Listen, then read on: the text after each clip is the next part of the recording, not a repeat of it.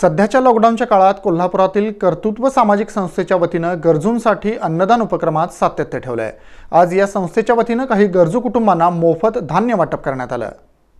जिल्ह्यात कडक लॉकडाऊन होण्याची शक्यता व्यक्त होत असून अशा परिस्थितीत गरीब लोकांचा उदरनिर्वाहाचा प्रश्न आणखीनच बिकट होणार आहे. हातावर पोट असणारे मजूर हॉटेल कामगार हातगाडीवाले यासारख्या अनेकांचा रोजच्या जेवणाचा प्रश्न निर्माण होत आहे.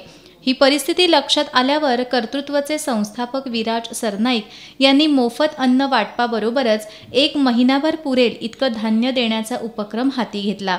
या उपक्रमाअंतर्गत तांदूळ गहू साखर तेल डाळ आणि मीठ असं साहित्य देण्यात आलं. जे रस्त्यावर त्यांचा माल विकून पोट भरतात. रोजच्या रोज जर त्यांचा माल नाही विकला तर घरात अन्न शिजू शकत नाही. या कडक लॉकडाऊन परिस्थिती लोक करणार काय? ही गोष्ट आमच्या लक्षात आली कर्तृत्व या संस्थेत मग आम्ही ठरवलं की या लोकांना मोफत अन्न वाटप तर चालू आहे पण त्यांच्यापर्यंत आम्ही पोचू नाही शकलो किंवा ती आमच्यापर्यंत नाही पोचू शकली. तर पुढचे पंधरा दिवस किंवा महिनाभर ते त्यांच्या त्या कुटुंबातला कोणीही उपाशी राहिला नाही पाहिजे.